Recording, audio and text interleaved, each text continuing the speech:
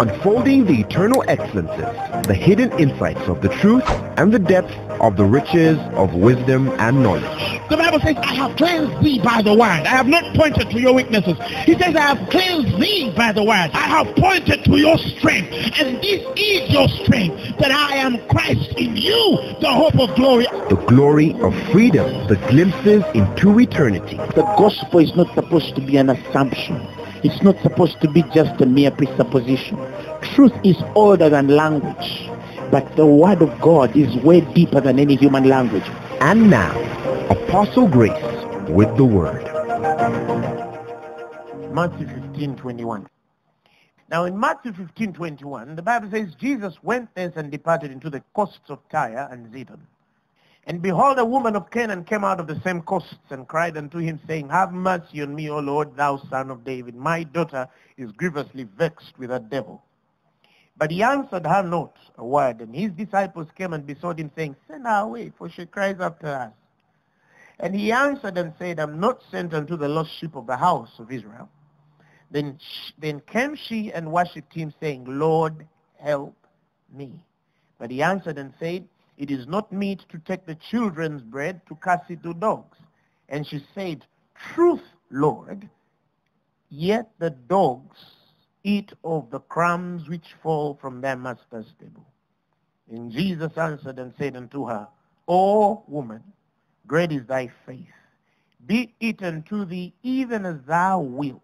And her daughter was made whole from that very hour. Somebody shout hallelujah. This woman, very clearly, is a Gentile. She's a Gentile. Presupposing that in the first place, she's not even supposed to be someone we consider in the math of miracle. She does not deserve a miracle. You understand what I'm saying? Quote in quote. Now, Jesus was a God of compassion. You all know that. The Bible says was moved by compassion, he healed. We know him to be a loving God. We know him to be a compassionate God. We know him to be a forgiving God. We know him to be a merciful God. We know him welcoming all the sick, the beggarly, the weak, and those that are distraught, disadvantaged, and all manner of things happening to them. That is the Jesus we know. Everybody knows that when you go to this God, he will heal you. When you walk to him, he will deliver you. When you go to him, he will change your life. He, he is just there to do good to everybody that comes to him. And now here, in history, is an event and an affair that quite does not relate to the picture of this Christ I'm expecting. I imagine the onlookers who have an opinion on how Jesus should do things. You know, we also have those people who always watch from the side and judge matters in the mind of men, not the mind of the spirit. You know those kinds of people? Huh? They were there in every time. Praise God. Now I'm imagining also this woman is coming for healing. And Jesus ignores her. And then there also is people on the side saying. Why is she disturbing Jesus? You understand? But there's, there's, there's another person also in the same event there saying, eh, hmm? this guy is the son of God. Seriously, no. Can, can a man of God do that? No, no, no, seriously. Anita, can a man of God do that?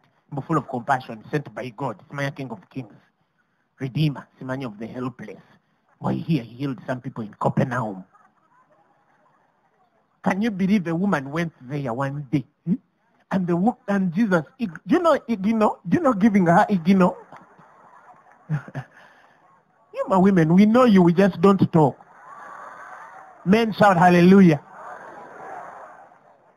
Jesus hit her Igno. And the disciples of the Son of God also don't understand him. Because when he ignores her, they say, uh-uh, master, send her away. She's shouting, you send her away. Sometimes I wonder, what was in these men? You know, of course you'd say, ah, but you know Jesus was, no, no, no, yes, but I understand, but I wish they were beholding the spiritual mind of God in this. Jesus was not intending to, to lash away at a person. No. Jesus was intending to establish a fundamental truth that would benefit 2018. Somebody shout hallelujah. Jesus was not just interested in putting this woman to shame. If they beheld the spiritual thing, they would probably have said, you know, let's watch and see what the master is up to. Uh-uh. They were quick to judge. Send her away. Send her away. Do you understand what I'm saying? Imagine a, a Gentile. One, of course, these people are thinking from a Jewish culture. The Jews never mixed with a Gentile. You understand what I'm saying? Even worse off, go beyond the Gentile. It was illegal during that time for Gentile women to come close to some of these Jews. On top of that, she's a woman and she's a Gentile. It's even worse. You understand? That's why you realize in Scripture, it wasn't always easy for women to approach Jesus. Not all. You see some pressing through to touch him. You, you get my point? Because that was culture. It was Jewish culture. Now the Son of God, the creator of heaven and earth, has a serious challenge, a serious issue. And this is that this woman is come for healing. She's a Gentile. She's, she's not a partaker of the promise. And Jesus tells the woman up square in the face, I was sent to the lost house of what? Israel. Has not sent to the Gentile. Was that true? No, it was not the truth. But Jesus was trying to prompt a certain faith in this woman's life that will help you in 2018. Her child is sick. You understand what I'm saying? If that woman walked off the ground and said, you know what? It's all right. Let me bury my kid. By the way, what man of God are you? No, no, no, seriously. What man of God are you? What, what man of God are you? You don't even have a heart. Yeah, I, I don't even blame you. You're not a parent. Mwana. Yes, mwana. You understand? They would have, they would have done anything. In the equation also to equal up the square of why Jesus had not prayed for her daughter. But also, on the other hand, I want you to understand this was a desperate mother for her child. You know, if you're a parent, you understand what I'm talking about here. Some of us parents know. You understand? This was a mother pleading for the deliverance of her child. And then Jesus says that I've not been sent to the Gentiles, but I've been sent to the lost sheep of the house of Israel. Now, the Bible says the moment Jesus said that, she acted like she didn't hear anything. And the Bible says she went and worshipped him. Who is following what I'm saying? This woman knew exactly what she wanted. She was a Gentile, it's true. She, she did not deserve any miracle, it's true. She did not deserve any breakthrough, it is true. She was not a son of Abraham, it is true. She was not of the lost house of Israel, it is true. And it tells her clearly, I was not sent to Gentiles, I was sent to the lost house, the lost sheep of the house of Israel. And what does she do? The Bible says she goes on the man's feet and worships him. This was somebody who was telling God whether rain or sunshine, whether there is anything or nothing, whether there is a reason or not, I need a miracle. Somebody shout hallelujah. And it gets better.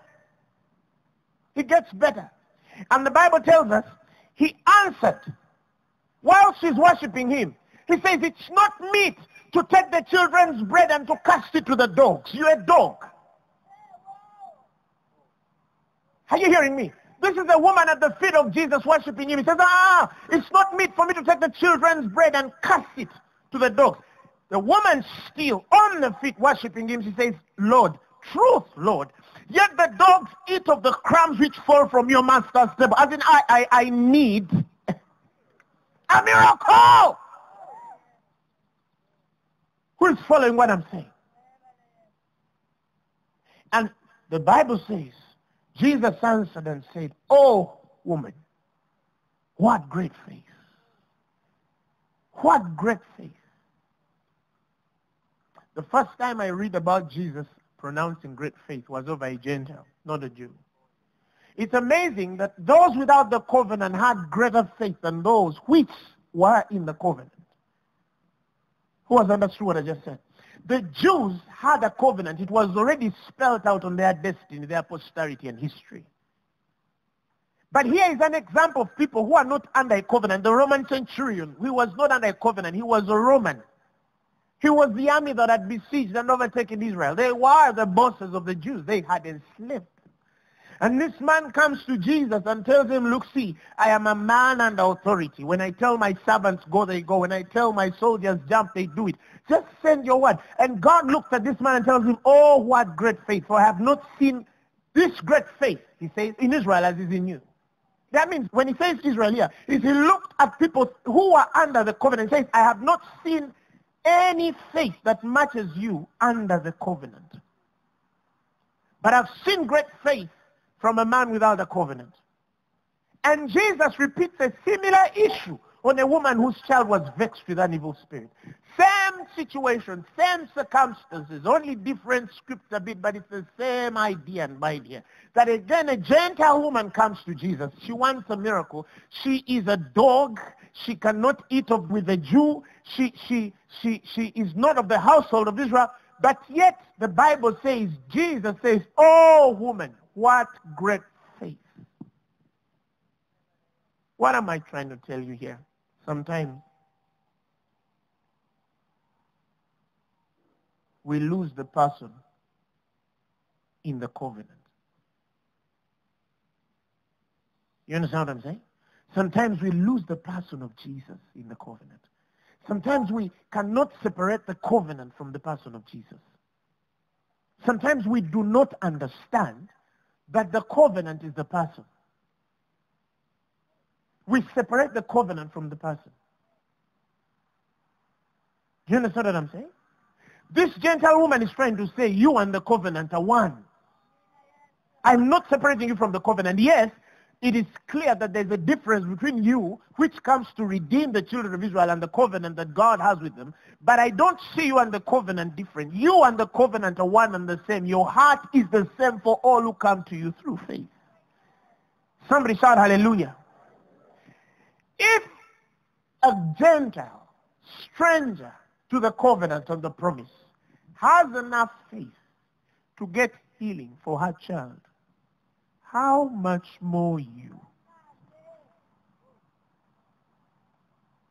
Hey, if a, a Gentile has enough faith to get healing for her daughter, Jesus in the allegory defined that miracle as bread off the master's table. Who has understood what I just said? Jesus defined the miracle as bread off the master, crumbs of bread off the master's table.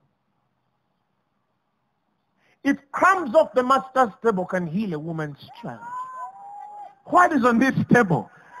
Somebody shout hallelujah. He said healing is the children's bread.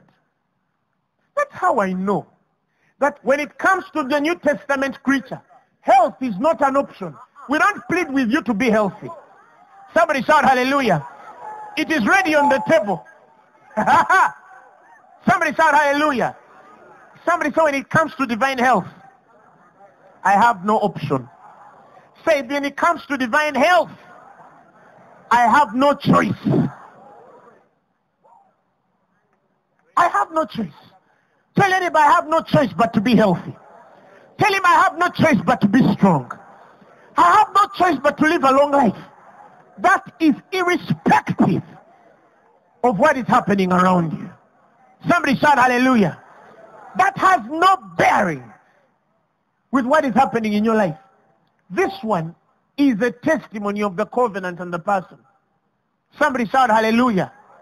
Somebody shout hallelujah. Praise the Lord. Now, when I saw that the greatest attempts of faith were around people without the covenant, I started to see that sometimes the covenant used to blind men from accessing the person of God. Yet it was the very thing that God needed for men to access God. You understand what I'm saying? That is why he changed it. That is why you have a new covenant established on better promises. Because when we were under the law, the Bible says we were held in bondage therein. The covenant Israel had with God gave Israelites an impression of disqualification. That is why great faith was not found in the Jew, but it was easily found with the Gentile. Because the Gentile did not have to come to God from a covenant perspective as the Jew did. And the Bible says, and finding fault with the covenant. He found fault with the covenant. He found fault with them. He tells you that it would not have been changed if it was perfect. The Bible says, but finding fault with them. Huh? Listen to verse 7. Verse 7. For if the first covenant, listen, had been faultless, then should no place have been sought for the second.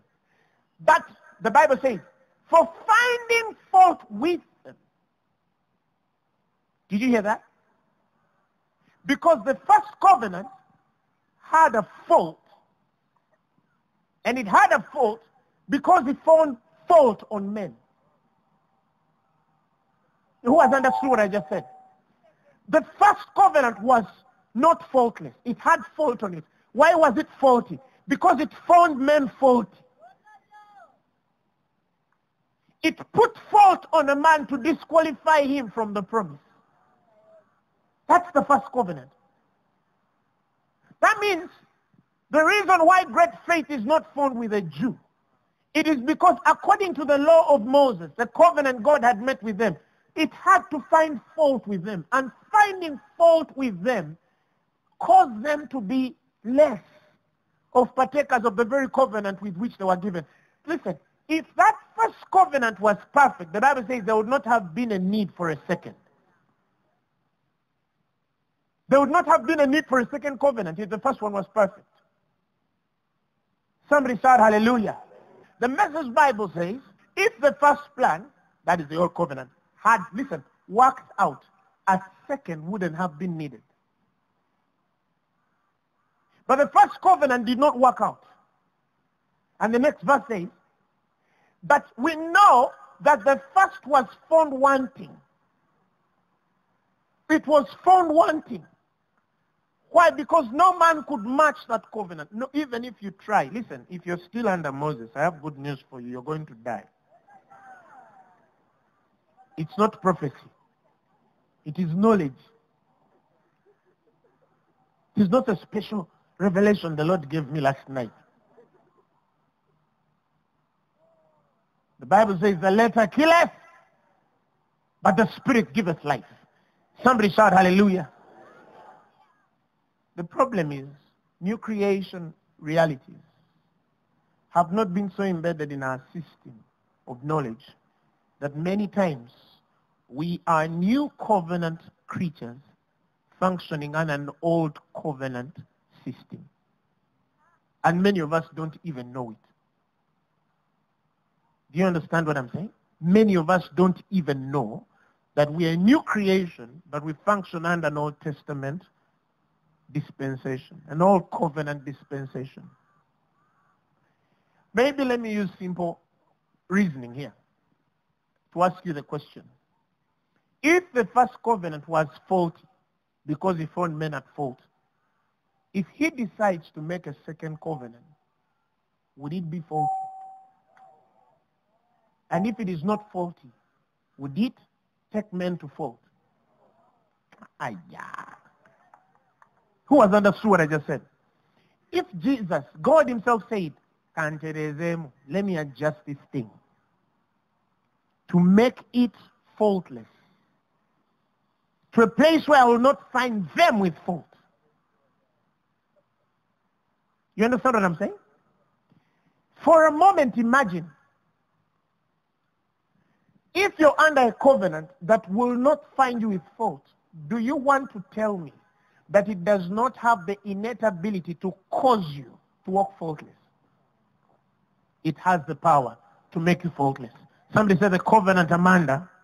Hey, the covenant Amanda has the power to cause me to walk faultless.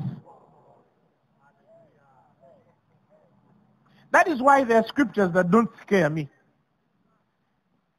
There are scriptures some people read and then they're like, oh, no, but me, when I read them, I get excited. I'll give you one. He's coming for a church without spot, no wrinkle. Musumba. Don't you have a spot? Do you have a wrinkle? Exactly what I'm trying to say. Under this covenant, he intends to perfect that which concerns me. Why? Because he is the author and the finisher of my, of your what? Of your what? Do you know that you're saying faith? Or you're just repeating the scripture? Somebody say he is the author and the finisher of our faith. That means believing is, is authored by him. He's the poet of it. He, he, he believes through me. I don't have a choice but to have faith. Somebody say I'm a child of faith. Whoa! I'm a child of faith. I don't lack in faith. I'm not short of faith. Say I'm full of faith. Say it again and say I'm full of faith. Faith is me and I'm faith. He is the author and the finisher of our faith. I don't even worry that I will not have faith tomorrow. I am persuaded I will have faith tomorrow. As it is, I have faith today. As it is, I have faith next year. As it is, I have faith next month. I am a child of faith. Tell your neighbor, I am a child of faith. I'm a child of faith. I'm a child of faith. I'm a child of faith. Tell your neighbor, I'm a child of faith. I am a child of faith. I'm a child of faith. Because he's the author. I simply allowed him and I said, you know what, Jesus? Take the wheel of faith. That's the faith of the Son of God operating in me. So that is why the Bible speaks of us being established on better promises. He's the mediator of that new covenant. He's not Moses and he's not yourself either. He that began a good work in you, the Bible says he shall see it to accomplishment to the day of Christ. Somebody shout hallelujah. Now, if a woman without a covenant had great faith, and God changed the covenant, eh? Let me ask it again. If a woman without a covenant had great faith, under the covenant that was faulty because it found men of fault, and God gives you a new covenant that cannot find you faulty, are you even now in the realm of great faith? That's why he says greater things. He says greater things. That's why he says you are more than a conqueror. He says you're more, you're more, you're more, you're more, you're more, you're more than a conqueror. You don't go to him the way she went. No, no, no. He says, come boldly. Somebody shout hallelujah. He says, come what? Boldly. So we don't go to him like, you know, Jesus. Some people, when they are preaching, they say, even you, you might be there like the Gentile woman and she needed a miracle and Jesus stands away. Keep insisting. And Jesus stands his back. Hang on. And he says, no, keep praying. Insist and say, even dogs. God, I'm a dog. No! He told us, come boldly to the throne of what? Knowing that you shall what? Receive mercy and what? Grace to help in time of what? Of need. We don't go to God with, let your will be done. Yeah. The Bible says he has made known unto you the mystery of his will. We, I know what the will of God is for my life. Somebody say, I know what the will of God is for my life. He says, for I know the plans that I have for you. I know, I know the plans that, I know the plans that I, I, woman, I know the plans that I have for you. Plans to make you prosper, not to harm you. Plans to give you hope, to give you a future. That expected end. I know the plans that I have for you. And he says, plans not to harm you. Plans not of evil. That means when God is planning, Somebody shout hallelujah. When God is planning for you, when God is planning for you, he has no thoughts of evil. He has no thoughts of harm. He has only faith and peace. I want to read in the NIV. He says, for I know. Let's read. One, two, let's go. Uh-huh. Uh-huh. Uh-huh. Uh-huh. Uh-huh. Uh-huh. Come on, somebody. Say it again. Say, for I know the plans that he has for me, declares the Lord. He says he plans to prosper me and not to harm me. He plans to prosper me. Say it again. Not to harm me. Say it again. He plans to prosper me and not to harm me. Say it again and say he plans to prosper me and not to harm me. To give me a hope and a future.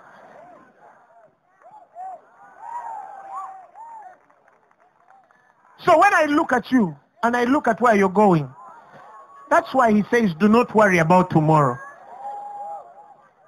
Don't worry about tomorrow. Tell your neighbor, do not worry about tomorrow. For tomorrow has its own to worry. It is worried about you. Somebody shout hallelujah. It is thinking, how will she eat? What will he dress? Which car is he going to drive? Hurry and make it quick because that's his portion. That is his testimony. That is his covenant. I have plans. I promised him. I promised her that I will prosper her. I will not harm you. No. God, this is, you've punished me so much. Uh-uh. He says, I know the plans that I have for you. I know the plans that I have for you. He says, I know. You, you might, but me, I know. Stop accusing me of your failure. I know the plans that I have for you. Stop accusing me of why things are not moving for you. I, I know the plans that I have for you. Plans to prosper you. I will not harm you. Does that mean you've not made mistakes? He knows that you've made mistakes. And he says, no, I will not harm you. I want to win you over by love. Somebody shout hallelujah. Now that we have a new covenant established on better promises, we are not even in the realm of great faith. Somebody say, I'm no longer in the realm of great faith. The faith in my life is greater. The faith operating in my spirit is far greater than has been written before. And that's the truth. So there are people who are, but I don't have faith like you. No, you have it. You just didn't know. Now I'm making you know that your faith is because of the covenant. Somebody shout hallelujah. Maybe let me make it simpler for you. Do you know that not finding you with fault is the reason of the doctrine of righteousness? And how many of you know that the righteousness of God is the rightness of God? Hmm? That means that everything that pertains to the mind of God, you're right. Everything that pertains to the, when you say, let me pray for healing, eh, you're right to receive it. When you say, let me speak into the atmosphere for a couple of dollars, you're right. That's why Paul says, for the God that I, Timotheus, the, the God we spoke, in him there was no nay. The God we preached. There is, there is another one which people preach. No. He says, the God me, Timothy, that God we preached, the one, that one we preached. He said, in him there was no nay. I don't know the one you know. Praise the Lord Jesus Christ. But the God that Timothy has preached, the God that Paul preached, the God that Apostle Grace, Silvanus, take away erinnya lyawo. No, come on, read it. He said, for the Son of God, Jesus Christ, who was preached among you by us, even by me, Silvanus and Timotheus, was not yea and nay. The God that Timotheus, Silvanus, and I preached, the Cephas and Apostle Grace, the, the, he didn't have those moments, but today, no. Mm, wait. Here. Mm, no. In that God, there was no nay. But the Bible says, in him was yeah. In him was what a covenant. Papa, I want a car. Yeah. Papa God, divine health. Mm-hmm. Big building, big. Oh yeah, yeah, yeah. yeah. I yeah, yeah, yeah. God, yeah, yeah. And then it gets to the point of before you ask, I will answer. So you come. So I imagine you coming to him and says, Papa God, I, yeah.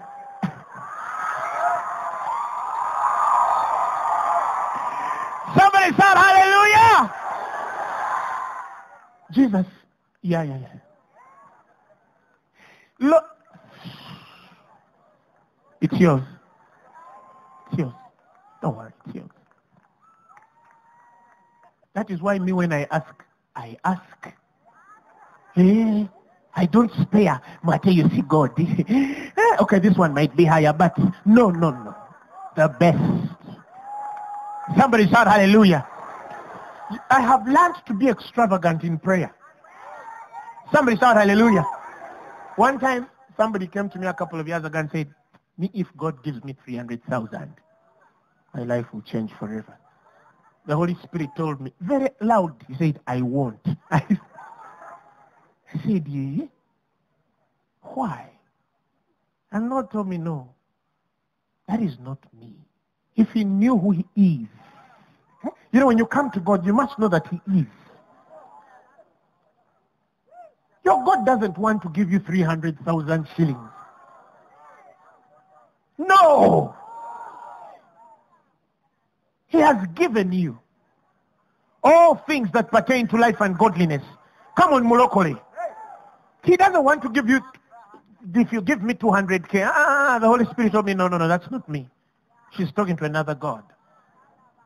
I've not, I can't, I can't. She's not talking to me. She's not talking to me. She's talking to another God. He, sorry, he was a he. And man, I looked at that guy's life, eh? Things failed to change for him. I've seen the man's life for many years. He has struggled and struggled, but things have failed to turn for him. Many years ago, the guy is still, I, you know, someone who graduates and they fail to even get a job all their life. Because the way they see God, it is not the God Timothy Silvanus and I preach. Now, if you know that you have been given everything, why do you spare? You understand what I'm saying? The Baganda said wachiwerumia. Sente bwezibawa ezirikola ki? Yeah, if the money is there, eat it. If the clothes are there, put them on. Hallelujah. If the cars are there, drive, let them speak. So, me, I don't kwerumia. No, no, no, no. No. I don't kwerumia. No, no, no, no, no. Somebody shout hallelujah. You are a child of the Most High. Somebody shout hallelujah. Somebody say I'm a child of the Most High. So that's why our testimony is greater faith. In this ministry, every time we talk about faith, we'll say greater faith, not great faith. We're children of greater faith. We're children of greater faith. Tell your neighbor we are children of greater faith. Greater faith. Greater faith. Greater faith. If great faith can heal a child, you have greater faith. If great faith can heal a Roman centurion's servant without a covenant, you have greater faith. So when Jesus looked at you and your story, he knew you were definitely going to do greater things. Era me, I'm ready. I don't know about you. Me, I am what? Ready. But Nange, you can't feed on this stuff and not get high. These are seeds we are planting. Somebody shout hallelujah. Every morning you're hearing Sunday, Thursday, eh, they're in your car. You understand me? If you continue hearing, the Bible says you're, you're translated, you're metamorphosed from one realm and measure of glory into another, into another, into another. Somebody shout hallelujah. Even as by the Spirit of the Lord, for the Lord is that Spirit. That is why I'm believing God for greater things for you. I said I'm believing God for greater things for you. Greater works. He said, shall you, for us, healing in this ministry, for example, healing. Healing happens so easy here. How many of you have noticed? Sometimes we just see people, hey, he's walking. Because there are greater things. There are greater things. There are greater things to believe for. That is why you have to be healthy. Tell your neighbor, I have, I must. Serena choice. Yes, you don't have it. You don't have it. You don't have it. I have every time sat on my bed and I've imagined where we are going as a people and what we are becoming every other day as we continue to hear these things. And I'm thinking, Banange, the world is in trouble. Somebody shout hallelujah.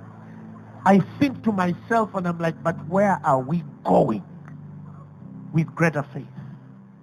The Lord told me something. It was about two years ago. The Lord told me a time is going to come and it's not far. It's in the foreseeable future, the near future. When they say, who are the richest people on the face of the earth? They'll be here. They'll be in this ministry.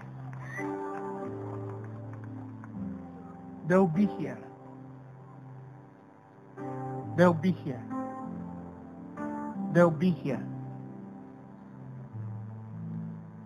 We are tired of rich people who don't know God. Eh?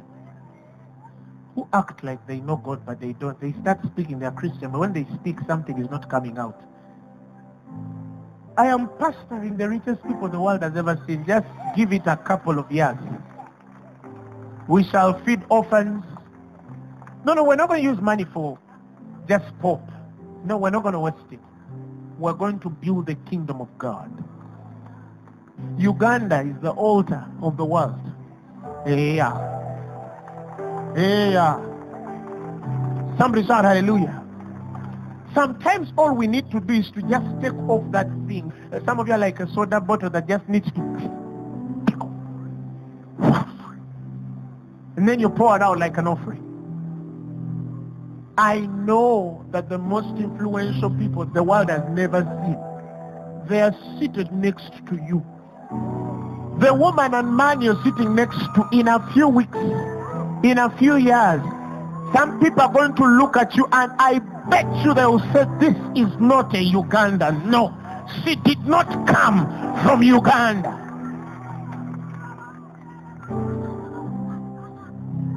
Greater faith. We're going to build castles in the sky. We're going to do things people cannot imagine are doable. They will look at us and say, these are not human beings. These are something else. These are something else. We know the covenant with which we've been put under. Some of you, I know certain things have not changed yet, but it's only yet. Those are just three letters. Praise the Lord Jesus Christ. It is only a yet. But things are turning. All you need to do is to change the spiritual first and deal with your spirit man. The physical will come. There are people here in circumstances you don't even know. Financial issues, you don't even know how to come out. When you look at yourself, you're like, but how will I come out? How? I, listen, that's why I came to talk to you. God is not only going to take you out, but you're even going to lose the smell of it. People will find it so hard to believe that you once struggled to pay a loan. They will find it hard to believe that you once struggled for fees and food, for rent and clothes. They'll say it's not possible. The things you will do, they'll say these things can only be done in a hundred years of work. And some of you are going to do in days to the glory of God. Some of you have great ministries in you. Great, great, great ministries in you. People will say, but this is supposed to take 20 years. This is supposed to take 30 years. This is supposed to take 40 years. This is supposed to take 50 years. This is supposed to take 60 years. How could she do it in a day? The Bible says, can a nation be born in one day? But it says, behold, I do a new thing. For it shall spring forth. Isaiah said, who shall believe our report? Do you know why he said, who shall believe our report? Because the things that are going to happen to you, men will struggle to believe.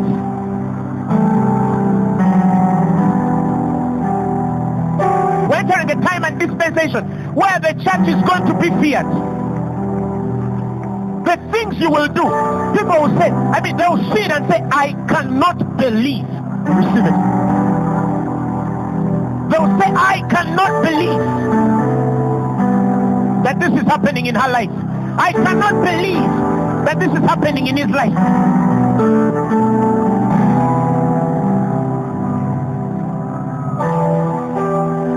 We are not few. We are not weak. We are not disadvantaged. Don't be deceived by your clothes. Don't be deceived by the house you live in. Do not be deceived by what they told you last week. Don't be diverted. No, no, no. It says for our light affliction. A light affliction. I don't care how big the issue is. It says for our light affliction, which is but for a moment, it cannot be compared to the word of glory that shall be revealed. While we look not at the things which are seen, for the things which are seen, the reports are seen, the things microscopes see, the things binoculars see, the things cameras see, the things your eyes see, they are temporal. But it says the things which are not seen, they are eternal.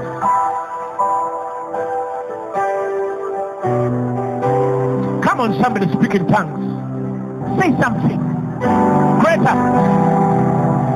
Greater. The words you're speaking right now are defining your next two years, your next four years. Somebody literally is changing their next six years, their next seven years.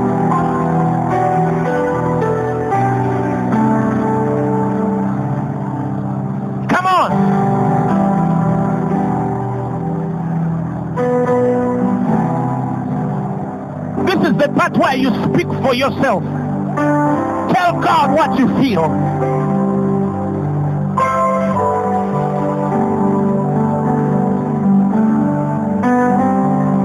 Call it out. You, you might look like you don't know what you're doing. You might look like you're foolish now. You might look like you're hopeless now. You might look like there is no way out now. But God is true. Mukama talimba. God is no man that he should lie.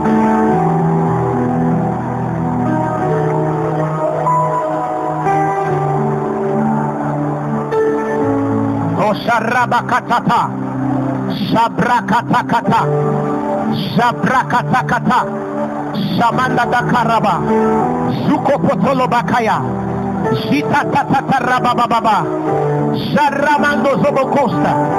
The anointing of the Holy Ghost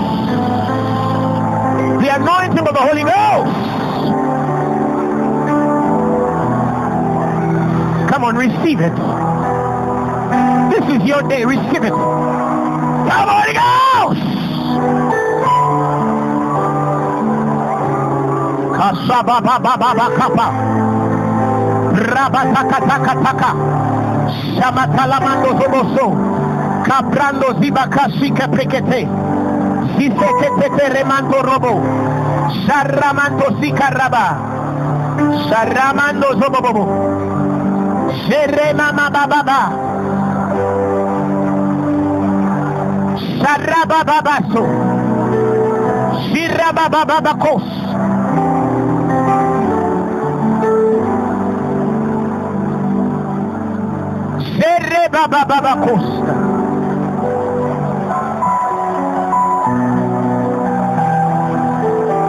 Something is happening.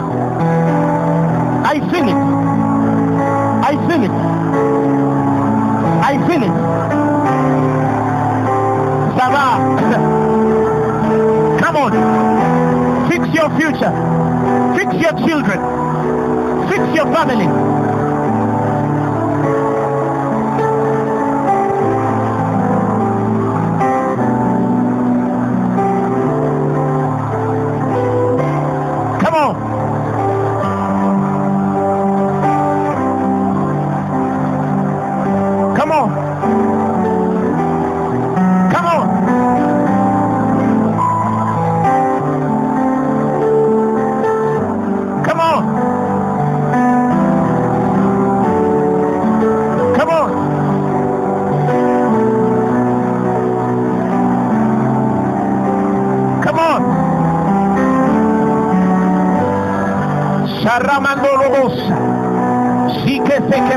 Bakosa la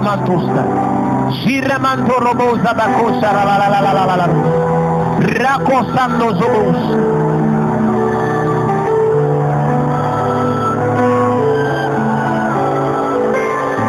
I stand in awe.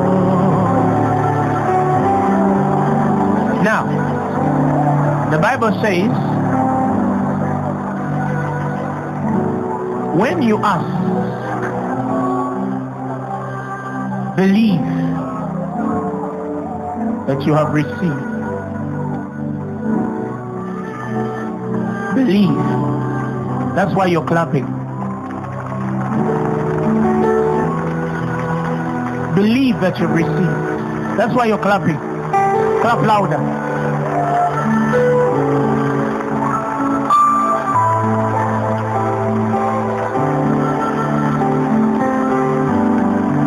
Tell you something. I might not say this every day. Huh? I might not say this every day. But I'm so blessed to have you. I'm so blessed to have the most anointed, the richest, the greatest, strongest, the wisest. I'm a blessed man. When I look at your future, I am a blessed man.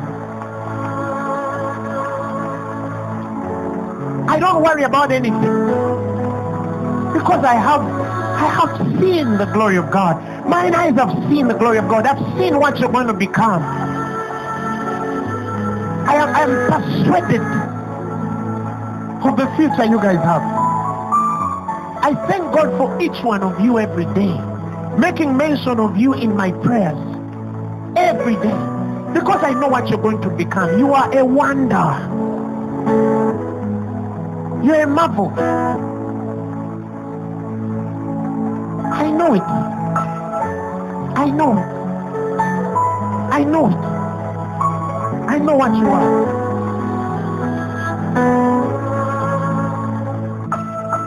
You